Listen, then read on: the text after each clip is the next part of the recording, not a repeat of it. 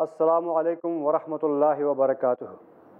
ناظرین، میں آپ کا میزبان محمد سرور میر آپ سب کا، آپ کے اپنے پروگرام خوف، کیا سچ، کیا جھوٹ میں خیر مقدم کرتا ہوں۔ ناظرین، پچھلے کئی ایپیسوڈس میں ہم نے خوف کے بارے میں باتیں کی، جن کیا ہیں، جنات کے بارے میں بات کی۔ ان میں زن و مرد رہتے ہیں، وہ کھاتے ہیں، وہ پیتے ہیں، لیکن ہمیں ان سے ڈرنے کی ضرورت نہیں ہے کیونکہ ہم اشرف المخلوقات ہیں۔ خدا نے ہمیں ان سے زیادہ درجہ دیا ہے۔ ہمیں صرف اور صرف اس کی راہ پر چلنا ہے۔ انشاءاللہ ہمیں بہت فائدہ ہوگا۔ ناظرین ہمارے ساتھ بنے ہوئے ہیں شیخ ارشد بشیر مدنی صاحب۔ السلام علیکم۔ وعلیکم السلام ورحمۃ اللہ۔ یہ تو تعارف کے محتاج نہیں ہے پھر بھی ایک بریف انٹروڈکشن میں دینا چاہوں گا۔ انہوں نے مدینہ یونیورسٹی سے عالم و فاضل کی ڈگری حاصل کی ہے۔ انہوں نے ایم بی اے کیا ہوا ہے اور اس وقت پی ایچ ڈی کر رہے ہیں سوئٹزرلینڈ یونیورسٹی سے اور یہ فاؤنڈر اینڈ ڈائریکٹر ہیں آسک اسلام پیڈیا۔ تو شیخ صاحب، ہمارے کئی جو ناظرین ہیں، انہوں نے سوالات بھیجے ہوئے ہیں کیونکہ پچھلی بار ہم نے خوابوں کے بارے میں بات کی، وسوسوں کے بارے میں بات کی، جنات کے بارے میں بات کی، بھوت پریت کے بارے میں بات کی۔ تو کئی سوالات آ رہے ہیں، ہم کوشش کریں گے کہ اس شمارے میں وہ لائیں۔ اور کچھ لوگ ایسا کہتے ہیں کہ اگر کبھی خدا نخواستہ ان کے ساتھ غلط ہوتا ہے تو وہ کہتے ہیں کہ ہماری تقدیر خراب ہے شاید اس وجہ سے ہوا۔ کیا یہ صحیح ہے؟ تقدیر کا کانسیپٹ آج کے ایپیسوڈ میں ہم سمجھنے کی کوشش کریں گے۔ جی۔ کئی لوگ خوف میں مبتلا رہتے ہیں کہتے ہیں اوپر والے نے میری تقدیر ہی غلط بنائی تیری تقدیر ہی تو پھوٹی ہے تو کیا تقدیر لے کر آئی ہے؟ جب سے تو آئی ہے ہمارا نقصان ہی نقصان ہوتا جا رہا ہے۔ کبھی یہ جملہ اپنی بیٹی کو بولتے ہوئے سنا جاتا ہے، کبھی یہ جملہ بہو کو بولتا ہے، کبھی جو ہے داماد کو، کبھی ساس کو۔ بہرحال تیرا قدم ہی جو ہے پھوٹا ہے، تیرے جنم پھوٹے ہیں، تیرا نصیب ہی جو ہے کالا ہے۔ تو بہرحال یہ سارے وہ الفاظ ہیں، لوگوں کو معلومات نہیں ہے وہ سمجھتے ہیں کہ اللہ تعالیٰ ظالم ہے اور اللہ تعالیٰ نے کسی کو خوب چاہ لیا اور کسی کو خوب گرا دیا۔ مان لیجیے کہ پوری دنیا میں اگر بادشاہی بادشاہ ہوتے تو پھر بادشاہ پورے بھوکے مر جاتے کیونکہ ان کے لیے چاول کا روٹی کا انتظام کرنے والے وہی کسان تو ہے اگر کسان والی صفت نہ رہے کسان کی صلاحیت نہ رہے تو دنیا میں اناج کہاں سے آئے گا؟ بالکل۔ تو ایک معنی میں ہم کسی کو اس کے پیسوں کی بنیاد پر عزت نہیں کرتے اس کی صلاحیت کی بنیاد پر عزت کرتے۔ اگر ایک کسان ہے وہ اپنا خون پسینہ کر کے ہمارے لیے اناج لا رہا ہے ہم اس کی عزت کرنا چاہیے بالکل۔ کہ وہ دریا بنا ہے ہمارے دانے اور پانی کا۔ جی۔ اگر پورے کسان ہو جاتے اور پورے ہی کام کرنے والے ورکر ہوتے کوئی حاکم بادشاہ یا ایک گورنر ایک ڈائریکٹر سی ای او مینیجر نہ ہو تو پھر ڈائریکشن کیسا دیا جائے گا؟ کیونکہ اللہ تعالیٰ نے کچھ کو برین دیا ہے لیڈرشپ کوالٹی دی ہے بعض لوگوں کو اللہ تعالیٰ نے۔ وہ لوگ جمع کرتے ہیں ایک طریقے سے لے کر چلتے ہیں۔ یہ ایک الگ صلاحیت ہے اس کے اپنے الگ مسائل ہیں۔ تو بہرحال اللہ تعالیٰ نے کوئی بھی چیز قرآن مجید میں اللہ تعالیٰ نے سورہ زخرف میں ارشاد فرمایا کہ ہم نے تم کو ایک دوسرے کے لیے سخریہ بنایا۔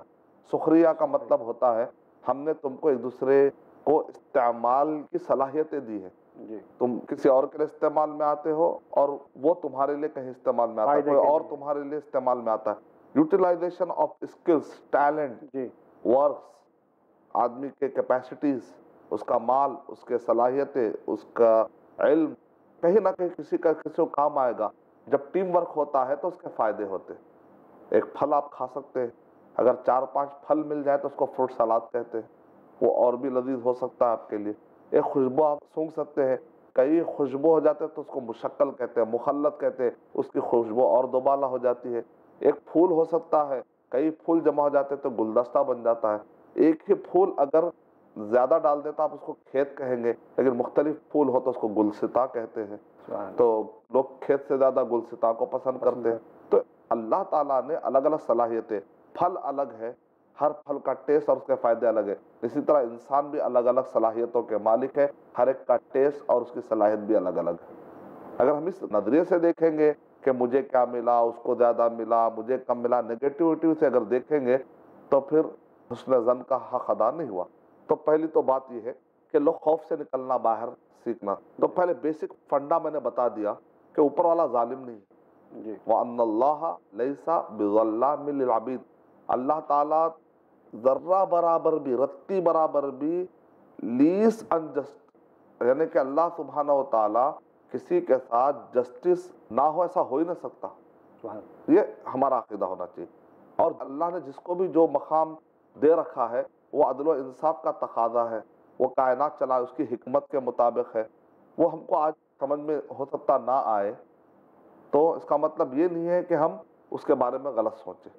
کہیں نہ کہیں ہمارے اعمال کیا سبب بن سکتے ہیں ان چیزوں کے؟ ہاں یہ پوائنٹ بڑا اچھا آپ نے کہا۔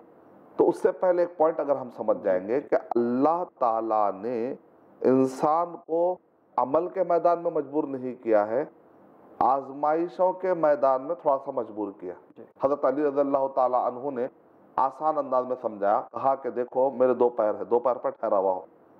اب اگر تم مجھ سے کہو گے کہ ایک پیر اٹھا لوں تو میں آسانی سے اٹھا سکتا ہوں ایک پیر پہ میں اپنا وزن سنبھال کے دوسرا پیر اٹھا سکتا ہوں۔ جی۔ لیکن اگر مجھ سے یہ کہا جائے کہ میں دونوں پیر بھی اب ہوا میں اٹھا لوں بغیر کسی سہارے کے اور اسی طرح ہوا میں رہوں تو یہ میرے لیے پاسبل نہیں ہے۔ جی۔ اس کا مطلب ہے اگلا کچھ چیزیں ہمارے اختیار میں کچھ چیزیں ہمارے اختیار میں نہیں۔ ہے تو تقدیر کا معاملہ بھی ایسے ہی ہے۔ کچھ چیزیں ہمارے اختیار میں ہیں کچھ چیزیں ہمارے اختیار میں نہیں۔ ہیں عمل ہمارے اختیار میں۔ اس میں اللہ نے آزادی دی ہے۔ سورہ دہر سورہ نمبر سیونٹی سکس کے آیت نمبر ایک دو تین میں اللہ تعالیٰ ارشاد فرما رہے ہیں نب تلی ہی فجعلناہ سمیعا بصیرا۔ ہم اس کو آزماتے ہیں۔ کیسا آزماتے ہیں؟ اس کو ہم نے کان دیے ہیں اس کو ہم نے آنکھ ہیں۔ تب کیوں دیے ہیں ساری چیزیں؟ فجعلناہ سمیعا بصیرا انا ہدیناہ السبیل اما شاکرا و اما کفورا اور ہم نے اس کے سامنے راستہ کھلا رکھ دیا ہے۔ چاہے وہ اچھا راستہ اختیار کرے چاہے برا راستہ اختیار کرے۔ اس آیت سے پتہ چل رہا ہے کہ اللہ نے آزادی دی ہے اچھا راستہ اور برے راستے پر چلنے کی۔ کائنات میں اللہ نے کسی کو آزادی نہیں دی فرشتوں کو آزادی۔ فرشتے تو ہے ہی نیک کام کرتے چلے جاتے ہیں یہ جن اور شیطانوں کو ہی اللہ تعالیٰ نے خاص طور سے اس میں انسان کا ذکر ہو رہا ہے۔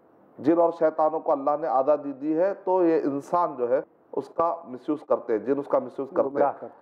باقی کی پوری جو کائنات ہے یسبح له ما فی السماوات و ما فی الارض۔ آسمان زمین میں جو کچھ بھی ہے سب اللہ کی تسبیح میں لگے ہیں۔ تو سورہ فصلت میں بتایا گیا کہ توان اور کرہن لگے ہوئے لیکن انسان کو عمل میں اللہ نے اچھے اور برے کرنے کی آزادی دی ہے۔ اب یہ آزادی کا غلط استعمال کرتا ہے تو اس کے بدلے میں یا تو دنیا میں عذاب ملے گا یا تو آخرت میں عذاب ملے گا۔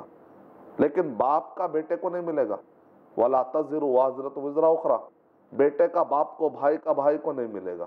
جو جو کرے گا اسی کو ملے گا۔ یہ بھی ایک قانون ہے یہ بھی ایک عدل اور انصاف کی بات ہے۔ اور اللہ تعالیٰ دنیا میں ہر چیز کا بدلہ بھی نہیں لیتے۔ وہ یا عن کثیر کئی چیزوں کو تو اللہ تعالیٰ معاف کرتے رہتے ہیں۔ یہ کلیئر ہوا کانسیپٹ دوسری چیز ہے کچھ چیزیں جو ہمارے بس میں نہیں ہے بس میں کیا ہے؟ عمل عمل ہے اچھا کرو یا برا کرو۔ اختیار ہے۔ لیکن کچھ چیزوں میں اللہ نے اختیار دیا ہی نہیں۔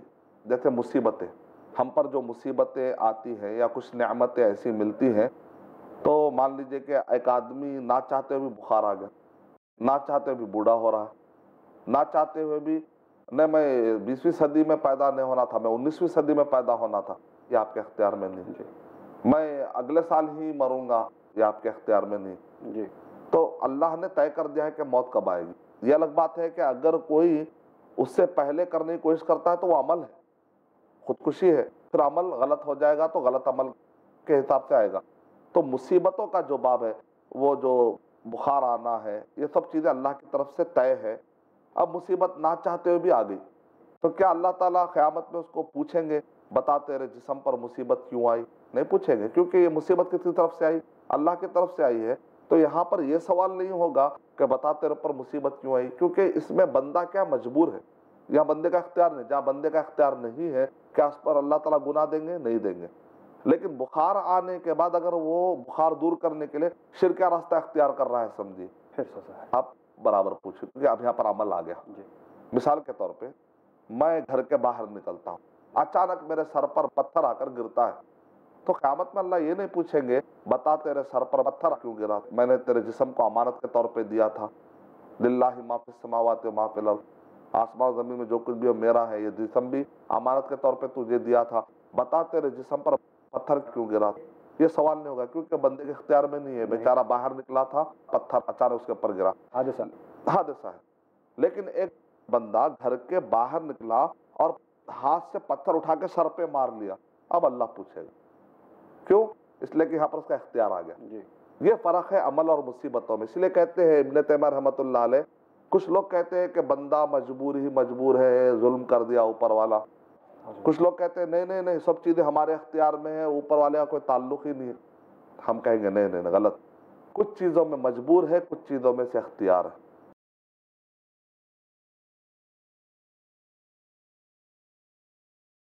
عمل میں اسے اختیار ہے۔ مصیبتوں میں اسے اختیار نہیں، یہ پہلا پوائنٹ یہ پوائنٹ ایڈ کریں گے ہم، پرانے پوائنٹ میں. تیسرا پوائنٹ جو سمجھنا ہے وہ یہ ہے کہ اللہ نے تقدیر لکھ دی ہے تو میں عمل کیوں کروں؟ اللہ نے لکھ دیا ہے کہ میں فیوچر میں میں ایسا کرنے والا ہوں، ایسا نہیں کرنے والا. تو اب میں خود جو ہوتا ہے دیکھ لیں گے، میں کیوں محنت کروں؟ یہاں پر پوائنٹ کیسا ہے؟ دیکھیں، اللہ نے چونکہ لکھ دیا ہے، لہذا میں کر رہا ہوں. بات ایسی نہیں ہے. اللہ کو معلوم ہے کہ اللہ عالم الغیب ہے نا اللہ غیب کا جاننا اللہ کو معلوم ہے کہ بندہ فیوچر میں کیا کرنے والا ہے۔ اللہ نے اس کو ایڈوانس میں لکھ لیا ہے۔ اس لیے نہیں کہ لکھا ہوا ہے تو میں کر رہا ہوں۔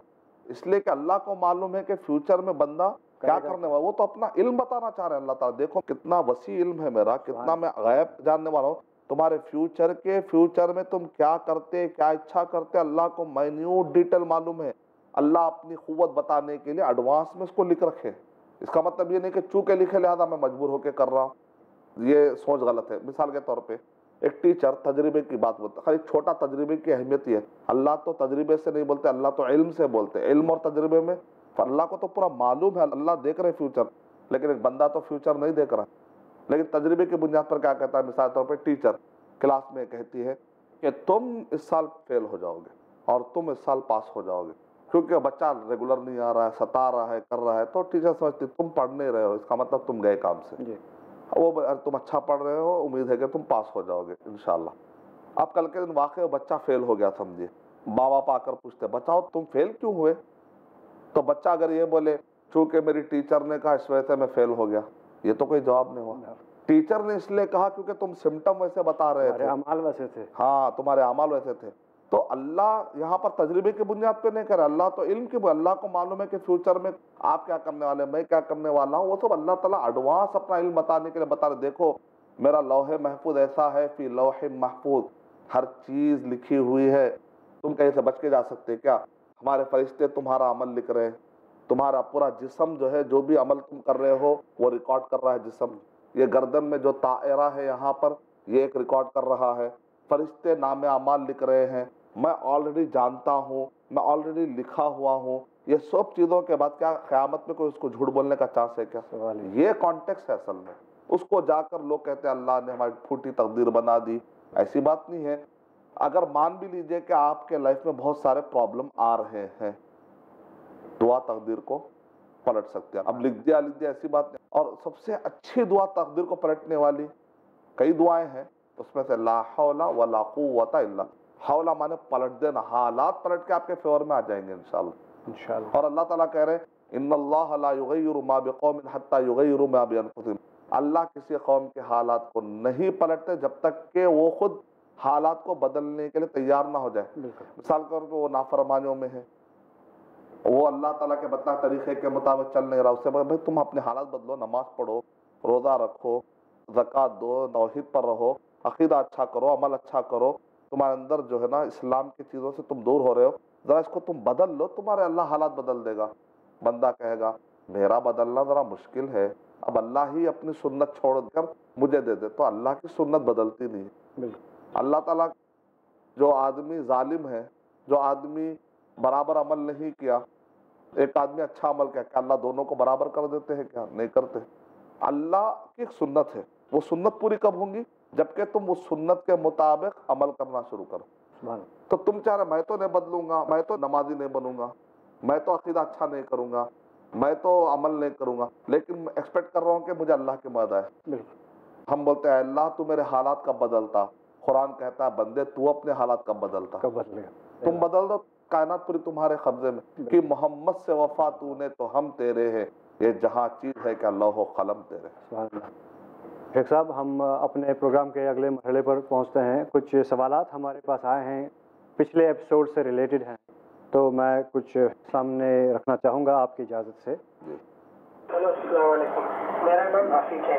میں طرف سے میرا سوال یہ ہے کہ یہ بات کیسے معلوم کی جا سکتی ہے کہ کون سا خواب اللہ کی طرف سے اور کون سا خواب شیطان کی طرف سے آتا ہے؟ خواب خواب۔ تو کون سا خواب اللہ کی طرف سے ہے؟ کون سا خواب شیطان کی طرف سے ہے؟ قرآن میں خود ڈیفینیشن دے دیا گیا ہے۔ سورہ مجادلہ سو 58 کے آیت نمبر 10 میں اللہ تعالیٰ ارشاد فرما رہے انما النجوى من الشیطان لیحزن الذین آمنوا. وہ خواب، وہ نجوا وہ جو وسپرنگ جو شیطان کی طرف سے ہوتی ہے، اس کے پیچھے کیا مقصد ہوتا ہے؟ بندے کو غم میں ڈال دینا۔ تو جو خواب دیکھنے کا تو آپ غم میں مبتلا ہو جاتے ہیں تو سمجھ جائیے کہ شیطانی طرف سے۔ جی۔ جو خواب دیکھنے کے بعد آپ کے اندر ایک خوشی مسرت فرحت سرور انبساط آپ کسی کو بتاؤ کسی کو بتاؤ ایک کیفیت ہوتی ہے تو جنرلی یہ خواب جو ہوتے ہیں وہ اللہ کی طرف سے ہوتا ہے تو کافی سوالات آئے پیچھے بھی اور پچھلے ایپیسوڈس میں ہم نے کئی ٹاپکس پہ بات کی۔ تو یہ سوال عام طور پر آتا ہے کہ اگر ہمیں خود کو کسی دوسرے کی نظر نہ لگے یا اپنی نظر نہ لگے یا ماں باپ کی نظر نہ لگے حسد کسی کو ہو، اس کی نظر نہ لگے تو کیسے بچائیں؟ اس کا کیا طریقہ ہے؟ آدمی جب اپنا ذکر کرتا ہے، میرے پاس کار ہے، میرے پاس بنگلہ ہے، میرے پاس یہ چیزیں ہیں، تو ایسے وقت پر آدمی یہ کہے، ساتھ ساتھ میں ماشاء اللہ ماشاء اللہ ماشاء اللہ ایڈ کر لے، اور سامنے والے کی نظر نہیں لگے گی۔ جب کسی اور کی تعریف کر رہا ہے تو کہے بارک اللہ جب آپ آ کر کہتا ہے خوشی سے، بھائی میرے ساتھ یہ واقعہ پیش آیا، مجھے آج یہ دولت مل گئی میرے ساتھ آج ایسا ہوا فائدہ ہوا تو آپ اس سے کہیے بارک اللہ بارک آپ کسی کو تعریف کرتے ہیں تو آپ کہیے بارک اللہ آپ کے یہ ہنر ہے بارک اللہ آپ کے اندر یہ صلاحیت ہے بارک اللہ آپ کے پاس یہ ڈگریاں ہیں کہہ کر بھی تعارف کرا سکتے تاکہ نظر نہ لگے۔ کیونکہ نارملی ہم دیکھتے ہیں کہ ہر جگہ ہم ماشاء اللہ ہی استعمال کرتے ہیں دوسرے بارک اللہ کرنا۔ وہاں پر بارک اللہ استعمال کرنا۔ تو ناظرین نے یہ بات یہاں پر جان لی۔ ہم ایک اور سوال لیتے ہیں ناظرین کا۔ ہلو السلام علیکم۔ میرا سوال یہ ہے کہ کسی کے اوپر شہر کا اثر ہے، یا جنات کا اثر ہے، تو اس کے بنیادی علامات کیا ہوتی ہیں؟ مرضی کیفیت ہے یا جادوی کیفیت ہے، اس میں تفریق کیسے کریں؟ اور ایک عام مسلمان کو اس کے لیے کیا کرنا چاہیے؟ اس کو دور کرنے کے لیے یا تصویر کے طور پر؟ جی۔ جادو ہے، جن ہے، نظر بد ہے، اس کو پہچاننے کے طریقے یہ ہے کہ آدمی اپنے خوابوں پہ غور کرے کس قسم کے وہ خواب دیکھ رہا ہے۔ ڈرونے ڈرونے خواب۔ چل رہا ہے، سلسلہ چل رہا ہے، چل رہا ہے۔ غلادت ہی غلادت، گندے خواب ہی گندے خواب۔ ڈرونے خواب ہی ڈرونے خواب۔ تو نیند کی کیفیت سے بھی پتہ چلتا ہے۔ نیند برابر نہیں آ رہی ہے، ٹائم اوپر نیچے ہو جا رہے ہیں۔ اس کے دن کے ایکٹیویٹیز پہ اس کو دل نہیں لگ رہا ہے۔ دن کے ایکٹیویٹیز پہ دیکھنا پڑے گا۔ اس کے خوابوں پہ نظر رکھنا پڑے گا۔ اور اسی طرح سے اس کا کاروبار پڑھائی میں جو رزلٹ پہلے آ رہا تھا، اچانک رزلٹ نہیں آ رہا ہے، یا وہ سستی کا شکار ہو چکا ہے ڈراؤزی ہو چکا ہے، ہمیشہ غم میں رہ رہا ہے، ہمیشہ کسی کے عشق میں پڑا ہوا ہے، یا کسی کے نفرت میں خوب پڑا ہوا ہے۔ خوب یعنی ہر چیز جو اب نارمل اب نارمل ہے، غصے کی کیفیت اب نارمل ہے۔ اس کے سوچنے میں ہمیشہ غصے میں ہے، ہنسنے کی کیفیت اب نارمل ہے۔ خوب، ایسی حوادث ہنس رہا ہے کہ لوگ پریشان ہو جا رہے ہیں۔ نیند میں چل رہا ہے۔ اوڑھ کر سو جا رہا ہے۔ سستی کا مدہ عورتوں کو پیریڈ خوب آ جا رہے ہیں۔ جو راستے میں جا رہا ہے تو بار بار گر جا رہا ہے، کوئی ڈھکل دے رہا ہے اس کو۔ ایکسیڈنٹ بار بار ہو جا رہے ہیں۔ مصیبتیں، بیماریاں یعنی آؤٹ آف کنٹرول اب نارمل کنڈیشن جو نظر آ رہے ہیں۔ رپورٹس دیکھے تو نارمل آ رہے ہیں۔ جب ایسے چیزیں زیادہ ہونے لگتی ہے تو یہ کیفیتیں اس کو سمجھ میں آتی ہے نظر بد میں آدمی ڈراؤزی ہونا شروع ہوتا ہے۔ نظر بد کے اندر آدمی کے خواب بھی پرابلم میں آ جاتے ہیں۔ نظر بد کی وجہ سے اس کے کام جو ہوتے ہیں رکاوٹیں پڑ جاتی ہیں۔ کاموں میں رکاوٹ۔ یہ سب طریقے ہوتے ہیں پہچاننے کے۔ جن جادو وغیرہ کے بھول کی کیفیت پیدا ہوتی ہے۔ ذہول کی کیفیت ہے۔ کوئی کی دنیا میں ہے جیسے کہتے ہیں۔ دنیا سے دور مین اسٹریم سے دور، لوگوں سے دور، دل نہیں لگتا، تفرقہ، اس سے نفرت، اس سے نفرت یا خوب کسی کے پیچھے، عشق میں۔ یہ سب سمٹم ہے۔ اس کے علاج کے تو میں نے آپ کو رقیہ شرعیہ جو آیتیں قرآن مجید میں ہیں جنوں سے دفاع کے لیے سورہ صافات پڑھتے ہیں سورہ یاسین پڑھتے ہیں اور خل کے سورے پڑھتے ہیں سورہ بقرہ پڑھتے ہیں سورہ عال عمران کی آیتیں پڑھتے ہیں آیت الکرسی پڑھتے ہیں سورہ بقرہ کی آخری دو آیتیں پڑھتے ہیں۔ موسیٰ علیہ والسلام کا جہاں جہاں پر بھی جادو کا ذکر آ رہا ہے وہ آیتیں پڑھتے ہیں۔ گزشتہ ایپیسوڈ میں تو میں نے بتایا آپ کے ایپیسوڈ میں بتانا چاہوں گا کہ جادو کو اور نظر بد کو دور کرنے کا ایک حصی طریقہ بھی، ایک تو روحانی رقیہ طریقہ، دوسرا حصی طریقہ ہے کہ بیر کے ساتھ پتے لے لے۔ نبی صلی اللہ علیہ وسلم نے نظر کو ختم کرنے کے جو راستے بتائے، ایک تو راستہ یہ ہے کہ اگر پتہ چل جائے کہ فلاں نے نظر لگائی ہے، تو اس آدمی سے کہے کہ بھئی آپ نے اس کی تعریف کی، دیکھو آج کیسے حالت میں ہو گیا، پریشان ہے۔ تو اس سے کہے کہ تم اپنے جسم کے اندر کچھ پانی ڈالو۔ وہ پانی جو نیچے گرے گا ٹب میں نا، وہ پانی سے اس کو نہلا دو۔ تو ایک طریقہ یہ ہے۔ نبی اکرم صلی اللہ علیہ وسلم نے ارشاد فرمایا اِذَسْ تُغْسِلْتُمْ فَغْسِلُوا جب تم سے کوئی کہے کہ آ کر غسل دے دو، تمہارا پانی، تو چھرما مت دے دو، کسی کے بھائی کا فائدہ ہو جائے گا۔ اس طریقے سے نظریں بچ جائے گی۔ سیکنڈ یہ ہے کہ اگر ہم کو پتہ نہیں کہ کس نے نظر لگائی ہے تو سات بیری کے پتے لے کر اس کو اچھا کوٹتے ہیں سات گولی بناتے ہیں۔ نارمل پانی آگ پر پانی گرم نہ کرے کیونکہ آگ تو دوست ہے شیطان کا پھر پرابلم ہو جائے گا۔ نارمل پانی جو دھوپ میں بھی گرم نہ ہو کیونکہ دھوپ اور سائے کے درمیان شیطان بیٹھتا۔ ہے تو دھوپ کو بھی خاص طور سے دھوپ میں گرم کرنے کی ضرورت نہیں ہے۔ دھوپ آنے کی وجہ سے نلوں میں ویسے ہی پانی نارمل ہو جاتا ہے نا تو وہ پانی سے بھی نہا لے سکتے۔ اس کا طریقہ یہ ہے کہ ٹب میں ٹھہرا دیں گے مریض کو اور یہ دعاؤں کا پانی اور یہ بیری پتے جو اس کے اندر ملا دیتے ہیں جو بھی آپ دعائیں پڑھتے ہیں آیت الکرسی وغیرہ وہ آئے تھے اس کو پیچھے سر پہ سے ڈالتے ہیں گدی سے ڈالتے ہیں۔ پھر ٹب میں سے پانی جو جمع ہو جاتا ہے نیچے گرنے کا پھر اس کو تین مرتبہ اسی طریقے سے نہلائیں گے۔ افیکٹو وے میں سارے مسائل حل ہو جائیں گے انشاءاللہ۔ پھر وہ انشاءاللہ جو ہے چاقو چوبند ہو جائے گا۔ تیسرا طریقہ یہ ہے کہ اگر یہ سب کرنے ٹائم نہیں ہے یا بار بار ایسا اٹیک ہو رہا وہ کہے گا کتنے مرتبہ نہاؤں میں بار بار ہو رہا تو نظر بد کی دعا وعیدکما بکلمات اللہ التامات من شر کل شیطان و حامت من کل عین اللہم اور ایک دعا، اللہم اذہب حرہا و مرضہا و بردہا وعیدہا بکلمات اللہ التامات من شر کل شیطان و حامت من کل عین اللہم یہ پڑھ لے بس۔ سبحان اللہ شیخ صاحب، ابھی ہمارا یہ سوال کا سلسلہ جاری رہے گا۔ آپ بھی انشاءاللہ ان پر اور روشنی ڈالیں گے، ہمارے ناظرین اور فائدہ اٹھا سکتے ہیں۔ لیکن اس وقت وقت کی تنگی کی وجہ سے ہمیں یہیں پر رکنا پڑ رہا ہے۔ ناظرین، آپ لوگوں کے ٹی وی اسکرین پر جو نمبر آ رہا ہے، اس پر آپ اپنے میسیجز بھیجیں WhatsApp messages voice messages اور جو ای میل آئی ڈی آ رہا ہے، اس پر آپ میل کریں، اپنے سوالات بھیجیں۔ ہم اگلے شماروں میں، اگلے ایپیسوڈس میں انہیں شامل کرنے کی پوری پوری کوشش کریں گے۔ تب تک کے لیے شیخ صاحب، اور مجھے اجازت دیجیے۔ السلام علیکم۔ السلام علیکم ورحمۃ اللہ وبرکاتہ۔